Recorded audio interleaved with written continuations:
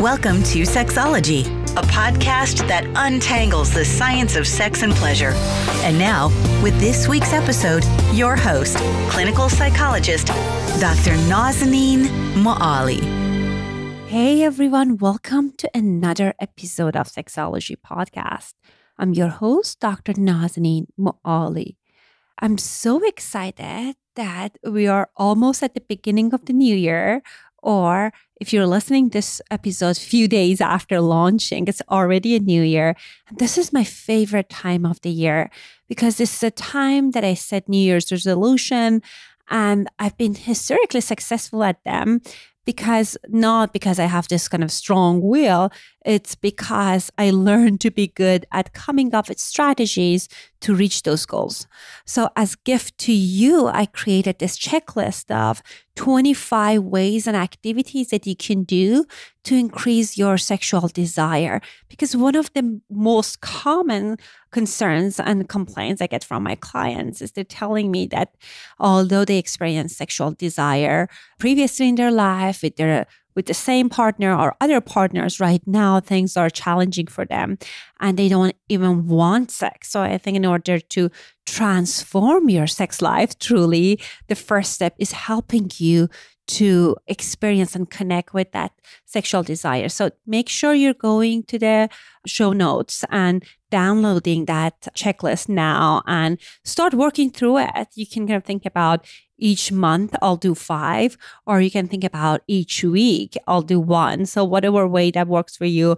But I think the key for successfully accomplish your resolution is finding the strategies that works for you and kind of being consistent. So, our guest today Xanet Pailet. Her story is very interesting. She used to be a attorney, healthcare attorney in New York City. She was in a sexless marriage for two decades and then she's she told herself this is not working for me and she turned it around and then because of her success now she is a, a coach and she's a sexuality educator so her story is fascinating and this episode is full of great tips that you guys can apply to engineer an orgasmic year for yourself. Xanet is a certified somatic sex and intimacy coach sexological body worker, holistic pelvic care practitioner, tantra educator, and somatic experiencing trauma practitioner. I leave a link to her full bio in the show notes so you guys can read about her wonderful experiences and accolades if you're interested to learn more about her. Without further ado, here's my conversation with Xanet Pailet. Hello and welcome to another episode of Sexology Podcast. I am so excited and honored to have Xanet Pailet on our show today. Xanet, did I pronounce your last name correctly? Yes, Pailet. Pailet. See, like it was 30 seconds pass and already. exactly. It's one of those things goes in and out. well, as I was sharing with you, that's very chic. And I love your first and last name, but uh, it's kind of hard for me to pronounce it because I'm not from here. So, Xanet, I'm very excited to learn what we can do to create an orgasmic life, an orgasmic year for ourselves. And I know that I was reading your book book is a fantastic read and I love the areas you covered. But I, I want to start with kind of learning more about you because I know that it seems like you went through a transition. So tell us, how did you arrive to this decision? This is something I want to pursue. Yeah, thanks. Yeah, I, have had sort of an interesting um, and unusual journey. I'm a healthcare lawyer by training. I did practice for most of my career, and I was in a sexless marriage for 26 years. Oh God. Just a long time to be in it's a, a lifetime. Mm-hmm. It's a lifetime. And obviously it wasn't totally sexless because I have two children, but, but it's definitely pretty much sexless. And honestly, like the issue for me personally around sex were two issues. One was I had a tremendous amount of shame body shame. I just wasn't comfortable with my body and my sexuality. And I also had, and I think related to this, I had some very painful intercourse. I had vaginismus. And that made sex really uncomfortable. And there was a lot of drama around it. And it was just easier after my second child was born just to say, like, we're done. Mm-hmm. And it wasn't necessarily a conscious choice, but there was a lot of drama around sex. Mm-hmm. And I think it just, you know, it didn't happen immediately, but it happened pretty quickly. And then, which is what always happens when couples stop having sex sex we stopped having intimacy and we stopped kissing and then we stopped touching. And then we stopped living in, even sleeping in separate, in the same room. So we were sleeping in separate beds for almost 15 years. And that was for a variety of different reasons. But, you know, it didn't help our connection at all. And when the marriage was clearly over, I knew that I had this issue that I had to deal with because I was still young. I was in my I just turned 50 at the time. And I knew that I wanted to be in other relationships. And, you know, I had more, had other chapters in my life. And I thought that they would involve other partners. But I had this issue around sex and I need to really deal with it. And that caused me to really just take a deep dive into my sexuality for my own learning and my own growth. And um, I had been living in New York. I'm from New York. I'd been living in the city. And I moved to California, left my career, my life, everything to be able to take a really deep dive into sexological body work. And I did a number of Tantra trainings, and I've done, I did somatica training with Celeste and Danielle. I was actually in their very first class, the inaugural nice. class, taking it two other times since then, including assisting it. And through my own work, my own personal healing of like understanding what was going on in my body, getting more comfortable, releasing trauma that I had, it just became really really clear to me like this was my this was my next chapter this mm-hmm. was my mission in in the world to be able to help women who are sexually shut down, women who have had trauma and abuse, couples in sexless marriages, to be able to really fully embrace and enjoy their sexuality. Mm-hmm. And that's how it that's how it all sort of happened. It wasn't intentional. well, I'm glad that you you made this drastic change in your life because this story you shared with me, although it's very unfortunate and heartbreaking, but very common. I have many people in my practice that they have tons of shame around sex, which we're going to talk about it, but also it's impacting their ability to have sex. They're experiencing painful sex. They have all sorts of sexual dysfunctions. And this kind of idea of, you know, I'm, I'm not going to be a sexual person is, is become very familiar with them and they yes. they no longer see themselves as sexual being and later in life they feel like you know I, I never been sexual and this will not happen for me. So i love that after your marriage ended you decided to address this. And it seemed like this is something that you were able to address and now you're passionate to share your thoughts and your experiences with others. And i love that you talked about kind of this sexual shame and some barriers because sometimes I feel, especially around New Year, something that happens is that people say, you know, I'm going to transform my sex life. We're going to have 30 days of sex intercourse and everything going to be great. And it's just not a matter of only intentions because some of the challenges that we have are very deeply rooted. I know in the book you talked about how women are almost programmed to say no to sex. So can you tell us more about some of these barriers? Yeah, I mean, I, am going to give you an example of how women are programmed to say no to sex from very, very young, a very young age, because it just happened. I've had my own experience around it, but I just had a call from a client, called me hysterical. It's like, what's going on? My three-year-old daughter was caught, in quote, masturbating in preschool a couple of times. Now she, you know, is in a pretty sex positive household, right? Mm-hmm and and they ended up calling children and family services oh no yes because they suspected that there was some sort of abuse happening and what she mm. said to me was like how do I talk to my daughter so that this, this doesn't cause shame for her? Mm-hmm. She also explored with another little girl. I think that was like the tipping point, mm-hmm. right?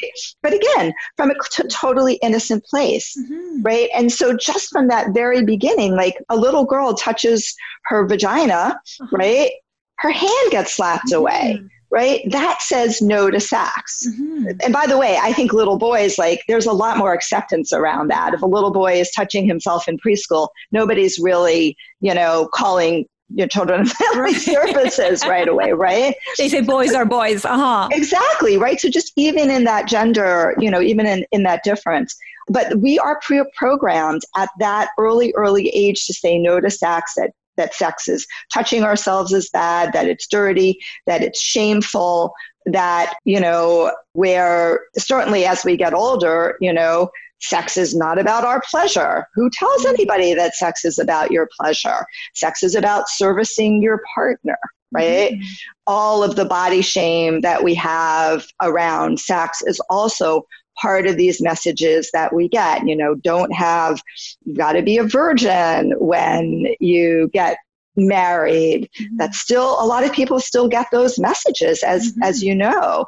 Sex is about making sure you don't get pregnant. Well, that's true. Sex is about making sure you don't have an STD, but we're never giving women and men, but mostly women, we're never get, giving women positive messages about like sex is actually for your pleasure. Mm-hmm. Sex is a wonderful thing, right? And so, like, we are really programmed to say no to sex. It's easy for us to put our foot on the brake because we've been told from very, very young that sex is bad and sex is shameful and your pleasure is not something that can be embraced. Mm-hmm.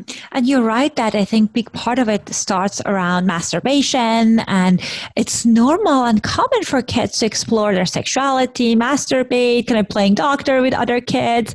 But even if people are, children are at the sex positive households, oftentimes school gets kind of panicky around these things. Other parents might have a reaction. Right. So it's a systematic issue. And I know in the book also you talk about Madonna and whore dilemma. So can you tell us more about that? Yeah, so so this is uh this is this is related to the whole sex is shameful piece. So the Madonna whore complex was actually coined by uh, Sigmund Freud, mm-hmm. right? and and basically the his the theory is uh, that you know men want to marry the Madonna, the pure virgin, but they want to have sex with the whore, mm-hmm. right?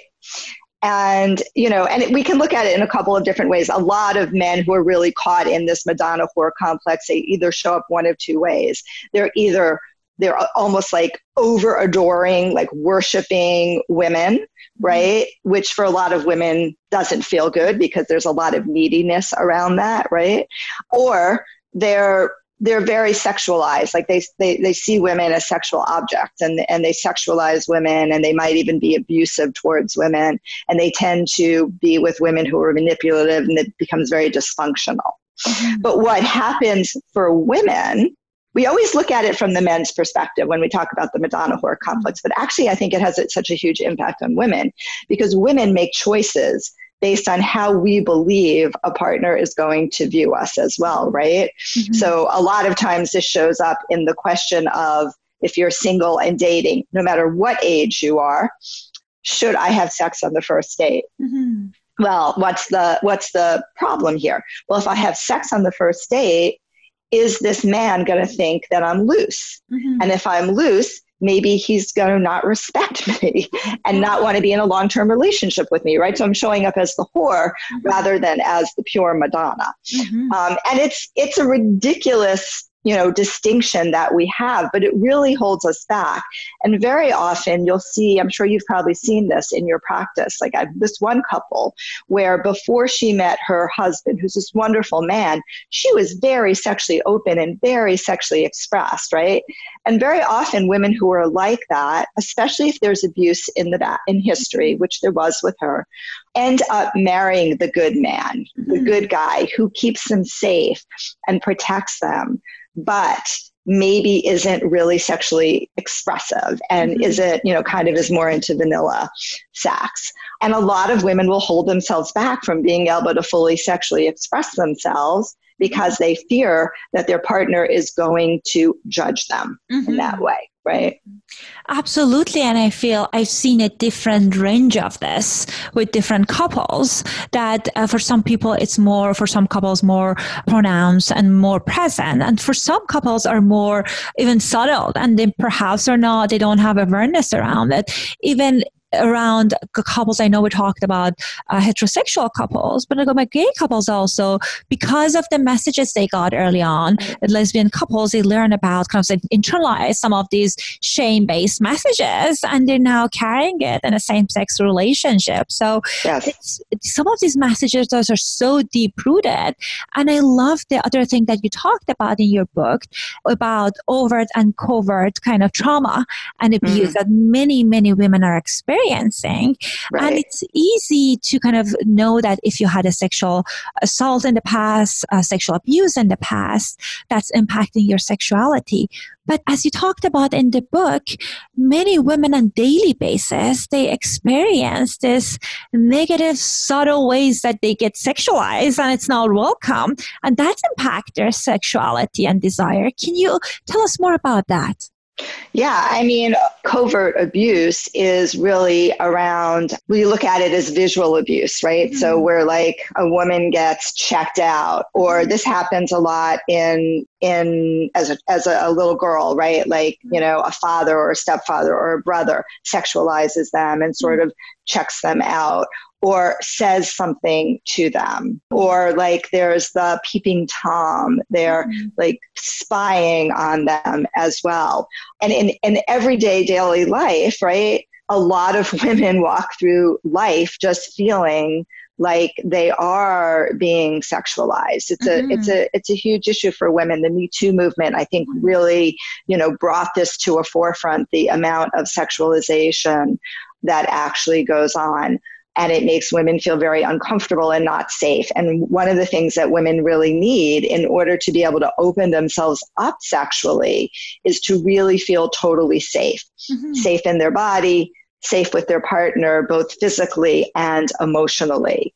Mm-hmm. And any type of abuse, including overt abuse, creates a place where it's just not safe right? Mm-hmm. And when you're not safe, you're contracted. And when you're mm-hmm. contracted, you can't open up your body, you can't open up your vagina, you can't open up your heart mm-hmm. to allow your sexuality to actually flow. So it actually does have a very big, you know, obviously abuse has a very big impact on women, but even these more subtle types mm-hmm. of abuse, emotional abuse as well. Like so many women are emotionally abused or even gaslighted, mm-hmm. which is also another form of emotional and verbal abuse, right? Mm-hmm. Again, it creates doubt, it creates a, a, fear, it creates a place of it not being safe mm-hmm. to express your, yourself and your sexuality. Absolutely. And I ta- I love it when you talked about this more of a verbal aspect of kind of harassment that women are experiencing on daily basis and yeah. how some young girls and teenagers kind of get accused, okay, what were you doing? What were you wearing? That kind of elicited that that kind of response. And what my experience, at least working with teens, is women early on learn to get smaller and smaller, kind of like, okay, I don't want to give out this uh, sexual energy, which is like as part of their vitality. And therefore, they try to kind of like dull down their personality and not being expressive because they get, they don't want to expose themselves to these sorts of harassment. And I think if you have 20 of them, 10 of them, or even five of them each day, you kind of dull down your sexual energy each time. And those combination of those things also can impact people's sexuality. Yeah, absolutely. I mean, you're really, you're, and you're also talking about slut shaming, mm-hmm. right? And, you know, so women, which means like women who, or teenagers often, or you know young women who are sexually open and expressive and want to have a lot of different partners mm. right they get shamed for being the sexual woman, right? Like you get shamed for being the quote the whore, you know? right? But, but you don't get shamed for being the good girl the Madonna. And and that and that that's very very damaging for women as well. That really has a huge impact on their sexuality. And like it just really embeds that those shame messages very deeply. And in my, what i've seen a lot in my experience is the slut shaming usually happens typically by other women. Mm-hmm right? Less so than by sometimes by men, but typically it's by other women who are actually judging, like we mm-hmm. judge our sisters. You know, that's that the culture in which we're judging our sisters mm-hmm. as opposed to like supporting each other, like, mm-hmm. you know, a group of women should be able to do. But yeah, that's, you know, that's a huge issue. And I've seen that. I've seen that with a number of my clients who were like that, right, mm-hmm. as teenagers and then got like shut down. Mm-hmm. And I love that you mentioned how sometimes other women are judging each other because I, I work with lots of women who are celebrating their sexualities. And that time they're asking me, you know, I just don't want to tell my friends about it because they're going to shame me about it. But perhaps they're telling me they don't get the similar reaction for men because culturally sometimes men are more open when it comes to sexuality. And I think it's really important to kind of be intentional about the comments, about the things and the support we offer our friends. Sometimes it's coming from the place of you you want to protect your friend but then what kind of a messages you are kind of like cultivating and creating in the bigger community so i wanted to know i know that this is the beginning of the year and mm-hmm. many people make uh, lots of resolution and they want to change things around. So our female listeners that they want to have an orgasmic life this year what are some of the recommendations that you have for us? Oh there's so many possibilities Well, I think I, I, believe very, very strongly that an orgasm, living an orgasmic life starts with really loving yourself. Mm-hmm. Like I believe that's where our our sexuality stems from. That's where our strength and our creative power stems from. It's from really inside of ourself. So really, first of all, giving yourself a lot of compassion around. Mm-hmm your body and all of the body images that you have because there's not a woman in this world on this planet who does not have body images and we know that right? And the more quote perfect the body that they have the more body images that they the more body image issues they have. So mm-hmm. a lot of compassion and loving like yeah this is what my body looks like right now. And I, I in, in my group coaching class for women i take them through this wonderful meditation where we start to we reframe our relationship with our body by realizing that your body is your best friend mm-hmm. and it's the only only part of you and the only person that will be with you that was with you when you were born and will be with you when you die mm-hmm. yeah and that is a very very powerful reframe right and just like you're changing it's changing so that's number one like mm-hmm. love your body and love yourself second I, I would say this my second recommendation is take the power back over your own arousal and over your own eroticism. By that, I mean, I, I, one of the things that I find with a lot of women is that they don't really understand their whole arousal system. They don't really know what turns them on, both physically, psychologically, mm. and sometimes emotionally they get it. But the other piece is they don't really understand. And we end up deferring our arousal if we're in a relationship to a partner. Mm-hmm. Right? Like, oh, I'm not sure what I want, but I know she or he knows what to do for me. Right. And A, that's not fair to the other person because, you know, I've worked with women's bodies, right, as a sexological body worker. So I've mm-hmm. touched a lot of vulvas, mm-hmm. and everybody's vulva is completely different and you know what's what's one woman's pleasure is another woman's torture right, right. Um, and so it's really hard for a partner to figure that out and nor should they be responsible because i truly believe that we all need to be responsible for our own pleasure Mm-hmm. Like you, if you know what you like and you know what you want, then you can have this juicy relationship with a partner because you can be able to tell them mm-hmm. what's going on for you, right? What I want next. And I really feel it's super important that you know that we learn what we like and that means touching ourselves and mm-hmm. loving our bodies and understanding exactly how we like to be touched so I think that's the second thing is like take and and, and not disempowering yourself mm-hmm. by giving that power away to a partner, mm-hmm. which is different than collaborative sex. I think collaborative sex is beautiful and creative and juicy, and we all want to have collaborative sex. But mm-hmm. collaborative sex also involves knowing what you want, in my mm-hmm. opinion. Mm-hmm. And then I would say the other piece for me is there's so many pieces of it kind of re- changing our mind frame about what sex actually is, mm-hmm. right? That sex is not just about penis, vagina, intercourse, or mm-hmm. PIV, penis mm-hmm. and vagina. right. Female, right? Mm-hmm. Or you know, whatever, or hand in vagina. It's mm-hmm. not just about that, right? Mm-hmm. Like sex can be anything that's erotic. Mm-hmm. And the more we can expand the palette, the more you can, you, you, your listeners, can expand your palette of what sex can be, the more possibilities there are for you to have amazing experiences. Mm-hmm. And also taking away all of the goals and the expectations, right? Like just stop expecting that you're going to have an orgasm. That doesn't have to happen. You know? Right. In fact, you can have great sex without having an orgasm. Mm-hmm. And the more you can sort of allow sex to be like like a palette, right? Like it, it's art. I love this. This is something that I this is I steal this from Nicole Daedone from her book Slow Sex. Like sex is uh, what did she say? It's art not science mm-hmm. there's not like you know there's not there's there's not these ingredients and i think in for in a lot of sexual interactions we think there's in, these ingredients oh first we make out mm-hmm. then he goes down on me or she goes down on me right you know mm-hmm. no like throw that out the window like be in the energy that is there yeah mm-hmm. and and and treat it as art Mm-hmm. Treat it as like something new and something different and exploring and being creative rather than like this is the recipe for sex. First of all, that gets boring. And second of all, right, like who wants that? And second of all, like, you know, what worked for women, women are like this, like a little bit different than some men.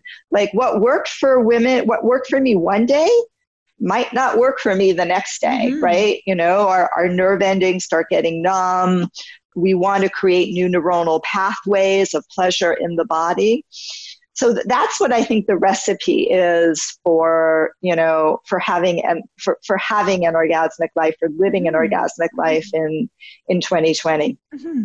I love that you talked about focusing on changing the first step, kind of just having compassion and changing your self image. Because part of my practice in LA, I see tons of women who are struggling with uh, self image issues, eating disorder behaviors, and even like women who are not coming for those issues, most people, like most women at least, they know what sexy looks like. And I'm doing air quotes, but they don't know what sexy feels like. And I think with the focus on feeling and seeing, okay, what, what does my body is able to provide me can be transformative. You talked about Tantra. We have this special episode on Tantra next week that we talked about energygasm and like erotic breathing. And I think mm-hmm. it's mind blowing that like your body can gives you this pleasure experience even without you touching yourself. So our right. bodies are this uh, wonderful vehicle for pleasure. And if we are kind of hyper focused on let's fix this corner and let's change that part of it, then we are cheating ourselves on our potential that our bodies provide. And I love that that you also talked about increasing our definition, like expanding our definition of eroticism and sex and sexuality because we want to like I, I encourage people to think about adding an element of playfulness to sex mm-hmm. this year because mm-hmm. we want to kind of examine what are some of the things that we can explore this year that can give us more pleasure. Uh, it might not necessarily lead to that specific orgasm that I want, but you might discover other things that you can kind of add to your toolbox. So we're toward the end of our time, but I loved your book. I know you have your coaching program. So if our listeners are curious about where they can get some of this information that you mentioned and they can go deeper on these topics, what are some of the ways to connect with you? Sure. So my book is called Living an Orgasmic Life Heal Yourself and Awaken Your Pleasure. Uh, and you can find it on Amazon and in every other bookseller that exists. Um, and you can, you can find information on it on my website, mm-hmm. which is www.powerofpleasure.com. It's www.powerofpleasure.com. Mm-hmm. I offer an online group coaching program to women for women. I actually offer two. The, the first one is Reclaim Your Desire and reignite your love life. Um, and the second one is a woman's guide to orgasmic bliss. It's like an advanced program, essentially. And in those programs, we really go deeply into your sexuality and we go deeply into your desires and figuring out what you actually want, mm. both physically and psychologically as well as emotionally. And then I also do private. Most of my most of my practice is private coaching. I work virtually. I'm uh, relocating to the East Coast, but I still work with people uh, all over in both in California, which is where I am now, and um, all over the states and all over the world. So you can reach me any of those ways. Powerofpleasure.com. Perfect. Guys, is the link going to be in the show notes? Thank you, Xanet, for being coming on the show. This was such a uh, wonderful roadmap to how to create a orgasmic living this, this year of 2020. And I'm excited to share it with our listener. Thank you so much. And hopefully we'll have you on the show in uh, later on. That'd be awesome. Thanks so much for doing the show. It's awesome. Thank you. Have a good day. I hope my interview with Xanet gave you good information about some of the barriers that gets in the way of you reaching your sexual potential and hopefully we were able to give you some guideline to on what to do to address some of those issues. One of the things i always tell my client that the fact that this the changes hasn't come yet it doesn't mean that you cannot have them. I think the first step is working on the limiting beliefs that gets in the way of you taking action around improving your sex life. And I, I truly, truly believe that everyone who wants, they can have a fulfilling sexual pleasure and sexual life. So take time and focus on it and come up with how are you going to approach this year as as it comes to your sexuality goal also a reminder that make sure you are following me at my instagram account at oasis to care this month, month of January, this is the third year anniversary of my podcast getting released on a weekly basis. And I want to celebrate with giving you guys tons of fun uh, free giveaways. Some of the things I picked are some of my favorite books in the realm of sexuality, some really fun toys, some gift cards. We have different themes each week. So we're going to have tons of fun. Make sure you're following me so you can enter for this giveaway. Thank you so much for checking out this podcast, and I'll talk to you guys soon. Thanks for listening to Sexology Podcast. For more great content, visit www.sexologypodcast.com. Please be advised that information presented on this podcast is not a substitute for seeking help from a licensed mental health provider.